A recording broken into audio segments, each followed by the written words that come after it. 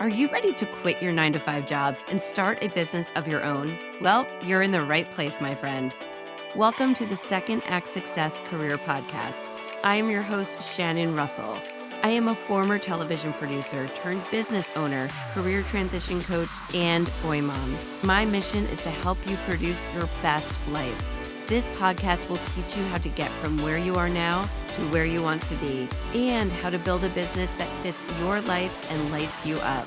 Let's get started. Hello, and welcome back to the Second Act Success Career Podcast. I am your host, Shannon Russell.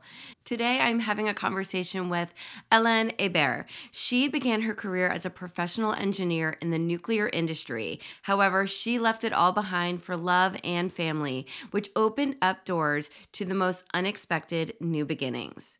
Her journey led her to northern Saskatchewan, where she discovered her love of growing food all year long. She discovered her deep passion for growing organic food and teaching both indoor and outdoor gardening techniques to others. Now, as the CEO of her own business, she empowers both new and experienced gardeners to embrace sustainable living by growing their own organic food all year long. Let me introduce you to my friend, Hélène. Hélène, thank you for being on the Second Act Success Career podcast. I'm so happy to have you here. Thank you so much, Shannon. I've been looking forward to meeting you on your podcast for a while now. The way your podcast is evolving is super interesting to me. And you've got top notch guests because I know I've binge listened to all of them. they are awesome. Uh, yeah, hopefully it's inspiring people to make that leap and to try something new. That's my goal. but we know each other from a mastermind that we're in together, which has been wonderful. So we know each other's businesses. Your story is just so incredible. Let's get back to the beginning. Tell me where your career began. Okay, so I have a bit of an exotic path, I have to say. And first of all, if you had, had ever predicted or told me that I was going to have this career path and completely change to teach gardening, I would have said, You're a liar. There's no way. Basically, I'm a I used to be a professional engineer and I worked in the nuclear industry for about a decade and I was inventing devices to inspect nuclear reactors. Because mm-hmm. that gives you a bit of an idea. I was traveling across the world occasionally to inspect nuclear reactors in different countries. And it was a job that I loved it had everything that I wanted in a job. It was challenging, but so fulfilling. My boss was wonderful. And my the business I was working for, it was the biggest research lab in Canada. And they gave me every opportunity I would have ever dreamt of. It's like I I checked my bucket list for work that I had for the next 15 years. I checked all the boxes within the first five. That's how much they give to me, you know, and they invested in me. But then I fell in love with the Mountie. So for those of you who don't know what a Mountie is, is a police, he, he, he's a police officer for the Canadian police forces. And they don't choose where they go to work, especially when they start their career. So for a while, I was still working for the same company but I was traveling back and forth between two different provinces because he got posted at the other end of the country, pretty much oh. in Saskatchewan. But I lived and worked in Ontario. So I was commuting. My commute was two to three air flights. Okay. I had one car in one province, another car in another province, one house in one province, and I was staying in someone's a house in a bedroom, you know, for the rest of the year. So it, I was just going back and forth every three to five years, but we wanted to have kids. We got married and it, it just, I couldn't make it work. I was never in the right province at the right time, you know? So this job that I loved so much, I started hating it and dreading going to work away from home. And so eventually I decided to quit my job. Literally, I thought, I'm going to call this my sabbatical mm-hmm. that we can have a chance to have kids, right? Yeah. And this is where the crazy adventure happened. You brought up something so interesting to me about how you can love a job and then all of a sudden you start resenting it. And that's because something in your life changed, your life circumstances changed. And I hear that not put in the way that you just said it, but so often. And I can think back to my story and loving my career so much, but having kids. And all of a sudden I hated it because I wanted to be with them and the commute was too much. And it sounds so similar to your story. I think so many listeners can probably relate to that because you start off and you're single and you're in this career and you're building your future and then love happens or kids happen or life circumstance happens and then it all changes. Yes, because it's misaligned. Yeah. It doesn't align with your biggest priorities anymore. That doesn't work. So, this is the reason why I changed career. I basically decided to pay myself a sabbatical not knowing at all what was coming next. I had no clue, zero. And then I ended up getting pregnant right away, which was wonderful. And I was sitting in front of this white canvas of my life, and there was nothing painted on it. But I knew this was happening for a reason. I was hopeful, and I knew I could manage somehow to find something that would fuel me, but what was it going to be? I had no idea. And then my husband approached me and he said, I think we should move up north to a First Nation reserve for a few years in the hope of coming back closer to my family later. And I said, yes. And this is where everything started. So I, I was one of the few Caucasian people in a First Nation reserve. And when I say remote, I mean, this is close to where the road ends in Northern Canada. If you want to go further up north, you have to fly. Mm. There are flying communities, you know, so it was, it was difficult, but it was so enriching. And I started, I started it. It's like I, I fell into the magic potion, literally because this is where I started growing my food indoors to not have problems with food securities it was in the middle of the woods. You had to drive, I don't know, maybe five, seven hours in the woods to get there. No cell phone service for a while, it, unpaved roads, no sidewalks, two nurses for 600 people. So a small community, but full of people that are super resilient. So cold in the winter you had from 10:30 a.m. to 3:30 p.m. to have the sun exposure. So you mm-hmm. can just imagine how hard it would be to grow in these situations. And it's minus 50 degrees Celsius for a good three solid weeks without the windshield in the winter. So you're there, your husband's there for work, and you've got one child now at this point? Yes. And I had a second one while I was there. I ended up meeting one of my neighbors who wanted to create a community food center. And I helped her out. She invited me in, and I was, I basically created the company. That was my first business, a nonprofit organization called the Turnor Lake and Birch Narrows Community Food Center. And our role was to, to basically help the elders pass on traditional food knowledge to the younger generations who have lost it because of residential schools, for example.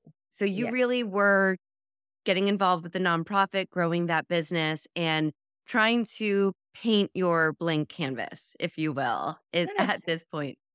Yeah, I knew that my stay there was temporary and my work for them was volunteering. Mm-hmm. I loved the challenge because I needed, I had a lot of drive. Mm-hmm. Yeah. yes. A lot of aspirations. I needed to build something. Mm-hmm. And I continued when I moved out of the community. But what I noticed is that at some point I gave gardening workshops in a little kindergarten. Kind- even before kindergarten, actually, let's say six months old to four years old. Wow. So, you know, even younger than that, a daycare. That was a daycare mm-hmm. actually. And I had I had experienced something that was like I've never experienced before. I came out of there feeling like I was on drugs. I was so high with joy and like life juice. It, I have never experienced anything like this in my decade of working as an engineer. So much passion in there. And that's what kept me going. But I also thought, there's no coming back. I can't go back to work as a as an engineer in the nuclear industry. I am never experiencing this with anything else that I do. What is this? And this is when I knew it was going to be related to food. My second act, I had my my act and a half where I created that nonprofit, but my second act was really when I created my business in a bad company when I moved here in my current location in Quebec. It was the energy that I felt. It was unmatched and hard to describe with words. So Mm. I thought, imagine if I could do something related to that and tap into that energy regularly, how life would be different. Mm. Yes. It's not the same game anymore. Like you're not going to work for the paycheck, although the paycheck is really great. There's so much more that keeps you diving in, wanting to get better, give back, invest yourself, like pouring your heart into your business. And and also this is what's keeping me focused when things get hard, right? Mm. Because I know there is something there that I needed to discover. And I still do. It's not over, you know? Mhm. The flame is burning so hot. You have to tap into that. You have to use this Mhm. and and figure out where it's going to lead you. So, so where did it lead you? You're out there, you're in the middle of the woods, you've got your nonprofit, and then you moved to Quebec. Is that when you began really putting the pieces together to build your current business? Yes. So basically, when I moved here, I started growing food in the winter under the snow, which was quite unique. Not a lot of people in Canada were doing that. And mm-hmm. still, there aren't that many that are doing this. A neighbor from another street walked by and she said, What the heck are you doing?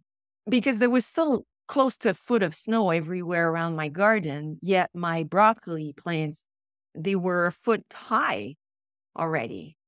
You know, so the food was growing quickly and the garden would look just majestic. It's it's really it feels like you're doing magic when you're doing winter gardening. Yeah. So people were seeing this in my garden and they were saying, You have to come to my place. You have to teach me. I want to know what you know. I want to do this. So then I decided to create my business and start doing a little bit of one on one consulting. I was hired by a nonprofit organization to put together an online uh, training on indoor gardening. And that was during COVID. Eh? So then I ended up thinking, I should turn this into a digital course, which I did. Mhm. And eventually I did another one on outdoor gardening all year round. So one on indoor, one on outdoor gardening, and always all year round. And it's organic. So that's where I've been going. And I can't see myself going back Mm-mm. to being employed by someone else. No. How are they going to manage giving me something that gives me so much joy? You know what I mean? Yeah. Yeah. When you find your thing and you feel very aligned, it feels like for years I didn't know where I was going because I didn't have you, Shannon. I, I didn't have a Shannon. yeah. I didn't have a business coach. No one was teaching me how to create a business at first when I was up north yeah. in Saskatchewan. I felt very isolated. I was the one showing them how to do things Mhm. business wise, but I didn't have a clue on how to do it myself. You can just imagine the loss of time and the doubts and the just the feeling of n- not being supported because everyone thinks you're going to fail. Mm. Everybody thought we would never succeed. Now I'm not there anymore. They run without me and they're very successful, extremely successful. But I wish I had you, Shannon, when Mhm. I started. Yes, because you need that support. You need someone to tell you these are the ropes. This is how you do your transition. Instead of spending so many years trying to see the signs and figuring out the details. And it Mhm. was very hard, especially being so isolated over there. Right. What a change for you going from this job that you really enjoyed, where you were in charge, traveling the world, to being with the man you love, creating this family, but in a very isolated area. And you, I think, used your engineering, your scientific brain to figure out what this town needed and to create that nonprofit. So you might have had to learn the hard way how to build this business, but you knew it could be done. That was your engineering side of your brain, I guess. But then to just feel that joy, I'm curious, is that joy something because you love organic food and you love growing something with your hands? Or was it seeing how it was impacting the community or the children in that that daycare? Where did that joy come from and how did you know that this was your calling? I don't know if you're going to believe me, but I never purchased organic food before I started growing my own food. Okay, so I was not a foodie. Well, I loved eating well, but I don't know. I couldn't quite figure out why people were so focused on buying organic when it Mhm. was cheaper to buy non organic. But when you don't have access to a lot of fruits and veggies, and this is just the reality of where you live, you find ways, right? Mm. And then what I noticed is I thought I didn't have a green thumb, but that here I am designing my own indoor garden and making it bigger and bigger. And everything I'm planting is growing majestically. Mhm. So now I'm having fun exploring old seeds and different varieties of food and in its walls in my basement. It's even under my my husband's TV. I replaced his TV stand by an, an indoor garden. There was food growing everywhere. And the lights, you know, when it was so dark in the winter, this light that I could feel on my skin and having my two year old harvesting little produce with her, her little scissors just before the meals, it was just such a nice healing experience. Mm. But this energy that I felt when I started teaching, I can only explain it by, I think it's my life purpose. It's aligned with my life purpose. There's no other way to describe it. I don't know why, otherwise, it's bringing me such a level of joy. Mm. It's off the chart. Yeah. It's simply off the chart. So I feel that when you're experiencing something like this, it's very difficult to ignore it. Mhm. It changes your entire life. And if you don't change your life to discover what it is you're meant to do, you become very unhappy in life. You're unhappy with work. Your loved ones pay the price because you're in a terrible mood, you know? Mhm. But the challenge with this is that when you find something that's aligned with your life purpose, you don't mind giving away your time. Mm. This is where you have to be smart and, and study and read and inform yourself and surround yourself by the right people and get the right coach so that you can make a living out of it. You have to make a living so that you can give more. This is the only way. Otherwise, you can give very little to few people. Mm. The more money you make, the more you have the power to impact communities in a major way, Mm. right? It's not by being poor doing something you love. It's not a hobby.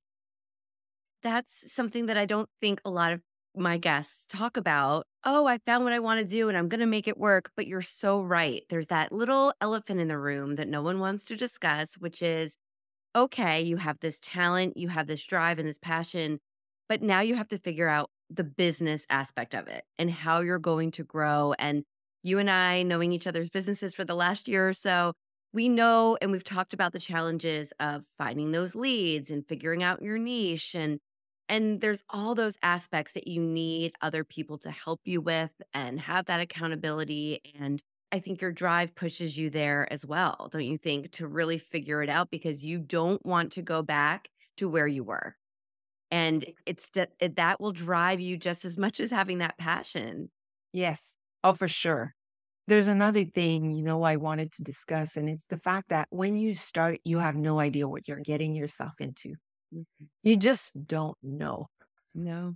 Nobody teaches you business or the real business world in yeah. school. Especially me, who studied engineering, I was so far remote from the business world, even though my dad was an entrepreneur, but he was not making money, not much. This is very different than what I want to do. Right.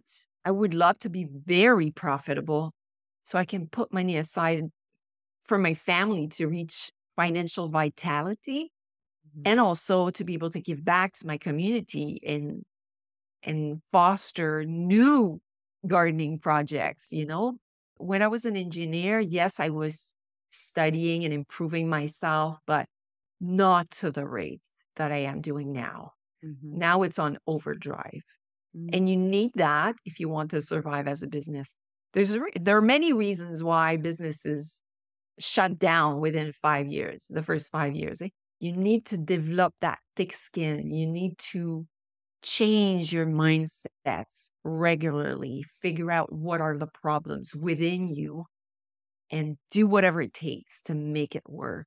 And I'm guessing a lot of your audience are female entrepreneurs, are they? Or yeah. want to be entrepreneurs, yes, or wanting to leave that nine to five and start a business or just start that second act. So, yeah, and that's another layer to it. We're creating this new life, this second act, this business. But we, most of us, or some of us, might also have kids and have all of these other things that we're balancing and we're juggling. So, it's trying to build this business and figure out this life balance that works for us in this stage of our lives. We have businesses where we can work from home, we can be present with the kids, but it's also that extra pressure of like, keep this up, keep juggling because you don't want to have to go back to the nine to five. So we've got to make this work.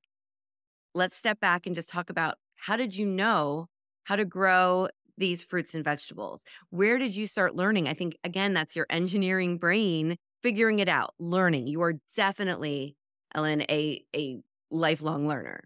How did you know it that you started, could do this? It started with a Christmas gift that I asked my husband. It was a book about market gardening. And he gave it to me for Christmas. And I hopped in a warm bath and I just read the whole thing from beginning to end in one go. And then I came out of the bathtub. And that's the day I said, You don't know what you just did, honey. I can't go back. this is when that was the beginning. Yes, I can't go back to engineering. I have to find something else. I don't know if I'm going to be a market gardener or whatever it's going to be, but it will be related to food. I was growing a lot of my food, but then I started experimenting like an engineer, mm. like a research scientist, which I was. Yes. And, you know, I, I faced some problems, you know, bug infestation, name them, you know, all kinds of problems. But then I kept on researching to figure out how to solve these problems, which was perfect for my future digital course, right? Mm-hmm. I was I was binge watching YouTube videos, reading books bre- while breastfeeding in the middle of the night. Wow. That tells you how much I loved it. I was washing dishes and I was learning learning about how to grow, you know, different varieties of food at the same time. I couldn't stop. so when you do that every day, over three years, you learn a lot of things. Yeah. And then you jot it down and you're like, this I want to share with someone else because I just put in all this work to figure out how to grow broccoli in the snow, whatever it is. And now you can build a business around teaching other people. How cool is it that you now have two courses? I want to hear all about them because if we have listeners who, you know, A, they're seeing how you grew this business through trial and error, but also, if they are wanting to grow their own food indoors or outdoors, tell us about your courses and what you offer. Okay, so the first one is the Indoor Gardening Academy. And this is where I'm teaching you everything you need to know to grow food successfully indoors. So you could be harvesting it any month of the year and it's all organic. By by taking this course, you learn how to design and build your own indoor garden. And it's saving you probably close to a thousand dollars just by knowing w- what materials to purchase and where and how to build it. And then we build your all year round planting calendar so you know exactly what to plant and where based on where you live and if you want to grow food outdoors as well in the winter or like four seasons or three seasons. Wow. You'll be growing your own microgreens and starting your fresher bar and a salad bar indoors and harvesting mm. tomatoes in January and Oh, indoors. amazing. And Yeah. your courses are also in French too. That's something that you're also challenging yourself to do is doubling up the work, but that you can offer it in two languages. Yes. Oh, yeah. You know what? One thing that's good as a business owner is when you start from the get go and do things in both languages, it's almost like you, if you launch things once, it's almost like you've launched it twice. Everything has been reviewed twice because you're doing it in two languages. Yeah. It's definitely a challenge. I'm not going to lie here, Yeah. but it's accelerating the pace of getting a good course together. You're helping people and you're bringing in money to your family while you've got your young kids too at home with you. Think back to when you were traveling the world, testing out these nuclear systems, and how different is your life now than it was all those years ago? You know, back then, we did talk about my husband putting his career kind of not on the side, but aiming low so that I can continue rising high. And it just felt so wrong because he was starting his career and I already had a decade with so many achievements and awards behind my belt. You know, it it felt like you needed to have your chance too, honey, you know, not just me. But the travel and the traveling was a killer because in my line of work, when you left for a country, you didn't know when you were coming back. This is not conducive to having a family. And with a husband who's a police officer, they have crazy shifts. I needed the flexibility, you know.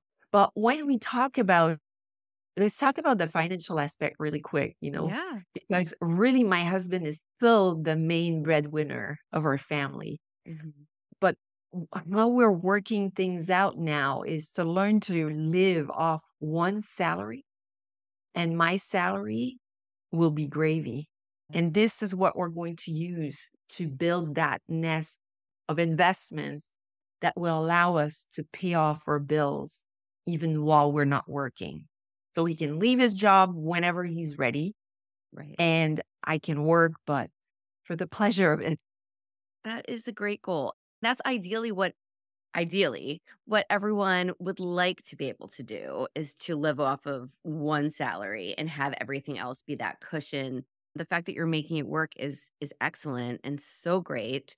I have two good courses. They're excellent, you know? Yeah. So I know this is great. Now it's just working on the marketing. But as you see, there's always something to learn. You're never done. No. When you think you're done, watch out. Something's going to happen. It's going to flip your plate and you will have to adapt. Right. I find that being in business is like the best exercise of adaptation and Mm. resilience ever. You're right. And I think that's for anyone listening who's thinking about leaving their stable corporate job and starting a business that you, it's not going to be a flip the switch type of scenario.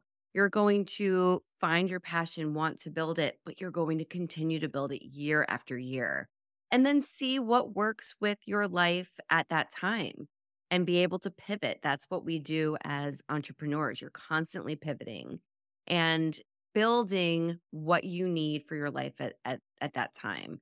But now you have built this business that's continuing to grow where you can be that present mom. And if your husband has to move again, you can pick up and take your business with you And there's something so comfortable and, and consoling about that to know that you can take this anywhere. Yeah, for sure. I don't want to move though. No. I definitely want to stay. But yes, it's adaptable. I, d- I decide. Yeah. I'm the boss, right? I feel like it, it, I'm on this big adventure and it's a quest and it's aligned with my life purpose. And I've got big dreams and things are getting clearer now, you know, now after four years. I swear there, there are things that I've known for a long time. I'm talking about 10 years.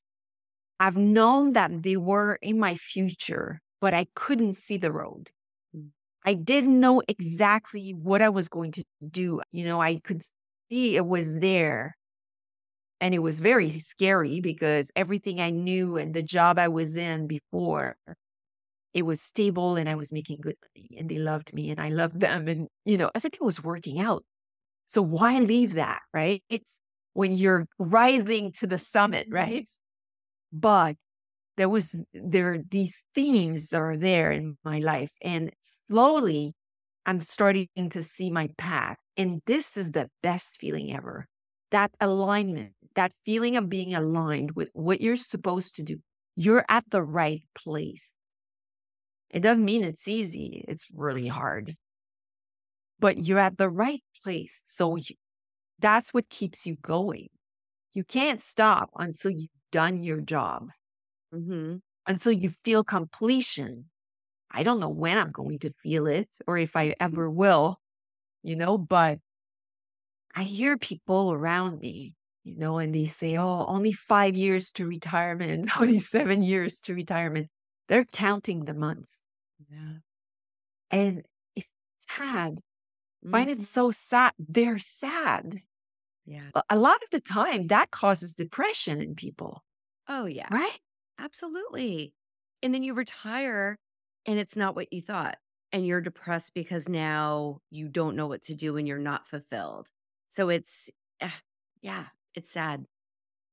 I think it's the the lack of self actualization. You can't even start working on it when you're doing something that's not lined up. It's not aligned with where you're supposed to be. Yeah. You feel out of place. It's like you want to crawl out of your skin. Yeah. To be able to work on a career that I'm building, and I have only myself to blame. If it's not going the way I want, I'm the responsible person here Yes. right? I can't blame it on anybody else. So if it's not exactly what I want, wake up early in the morning and figure it out. hmm Just start working at it. Find out what you need to do to get to the place where you want to be and make changes in your life constantly to make it possible.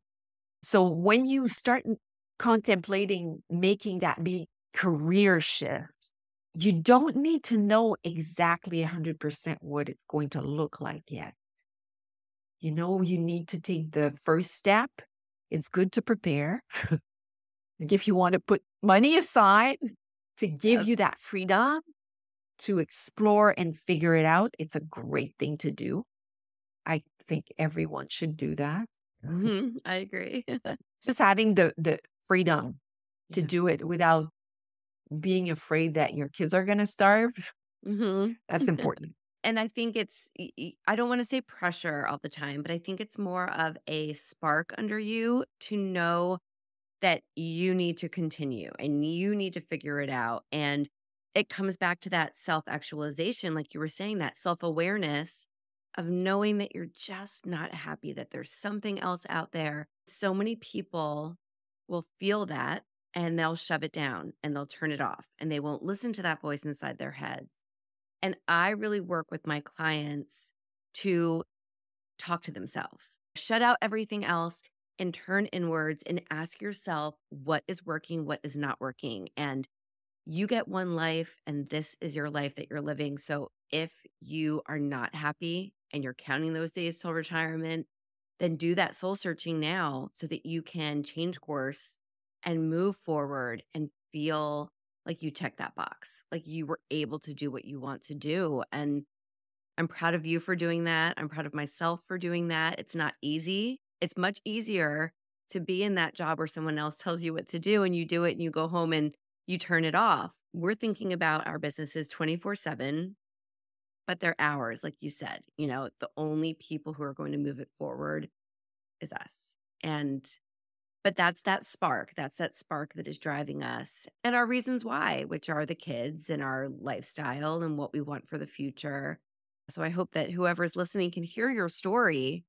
I hope whoever's listening can hear your story and see that it's possible.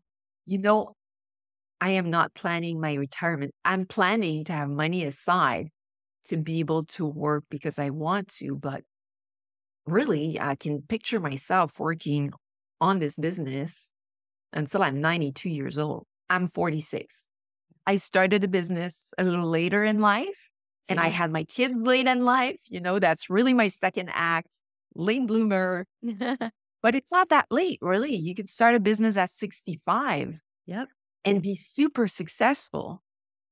Uh, we say life is short, that's when we waste it. Mm. But if you're t- biting into every day and taking it as a crazy good opportunity to develop and create something meaningful, why would you not continue later on in life? Just work two hours a day if you want to, right? Yes. But make it last a long time so you can have that joy, keeps you alive and healthy. All right, it's time for our five fast cues of the week. Here we go. Name one thing that these different chapters in your life have taught you.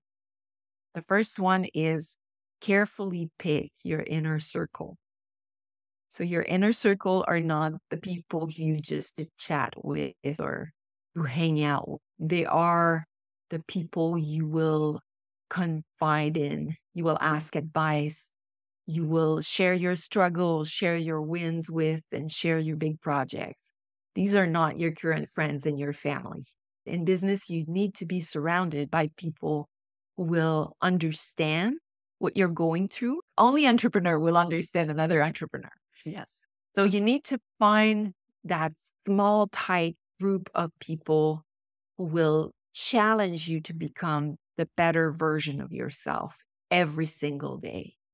And you interact with them more and more. And you let go slowly of all the time you're spending with people that are not going to be fueling that better version of yourself.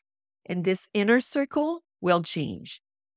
So when you start your business, it could be two key people, three key people. But as you grow, you will need to start hanging out with other people, new ones. So you leave that table and you join a new table.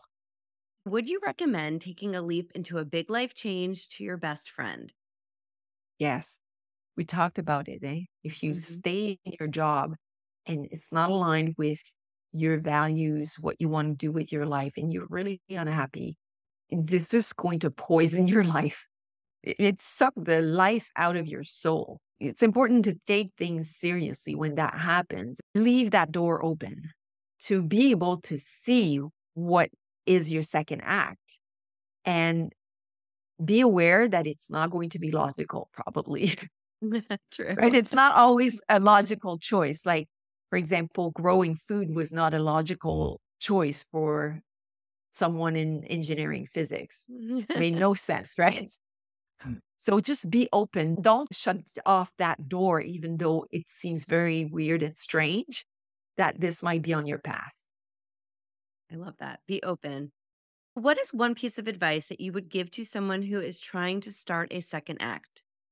So, whatever it takes for you to reach your goals, do it. That means making sacrifices. It's always difficult when you have goals to reach them. Let's face it, you know, if it if it requires you waking up at 5 a.m.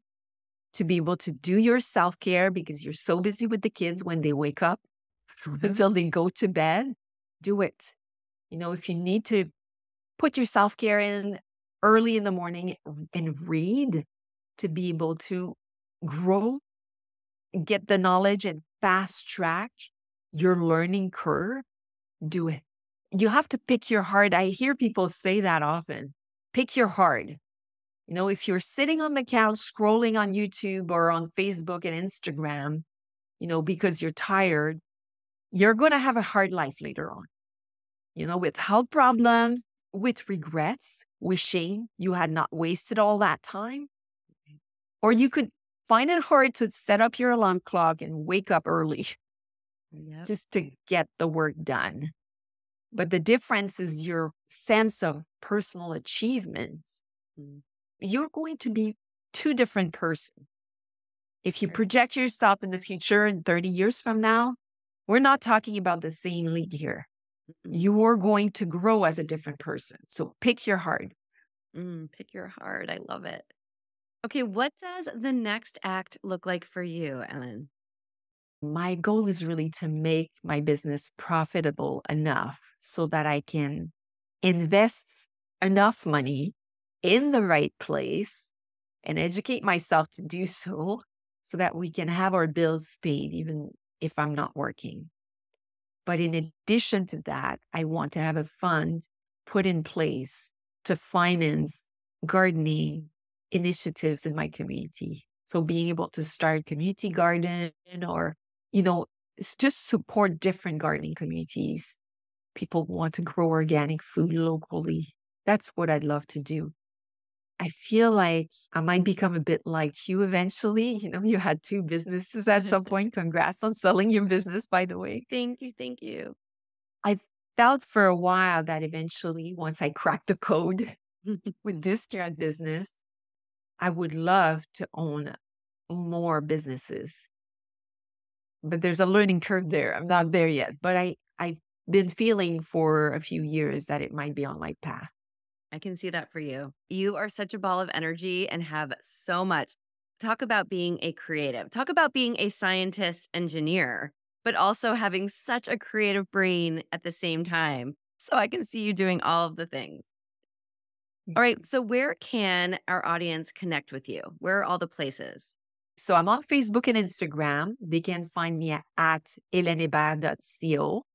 And they could uh, check out my website also, so it's helenehebert.co as well. Wonderful. And I'm going to spell it out, link to it in the show notes. So grateful that we're friends and that you have shared so much of your business knowledge with me and your advice. You just have built such an incredible business in life for yourself and for your family that I just thank you so much for sharing it with uh, my listeners here on the show.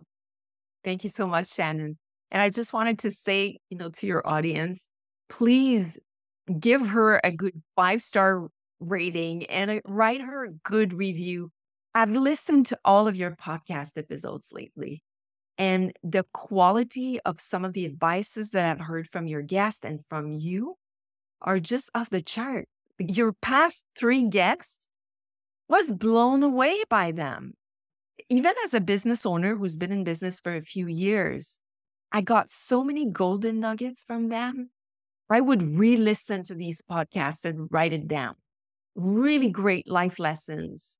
And uh, anyone who's starting a business, they should not do it alone. It's really hard to do it without having the right coach. Mm. And having you on their side is the best investment they could ever make to clarify things and fast track their whole experience. It's priceless. Mm-hmm. I'm really grateful you invited me. Thank, Thank you so, so much, much, Shannon. Thank you. Thank you for joining us. I hope you found some gems of inspiration and some takeaways to help you on your path to second act success. To view show notes from this episode, visit secondactsuccess.co. Before you go, don't forget to subscribe to the podcast so you don't miss a single episode. Reviews only take a few moments and they really do mean so much. Thank you again for listening. I'm Shannon Russell, and this is Second Act Success.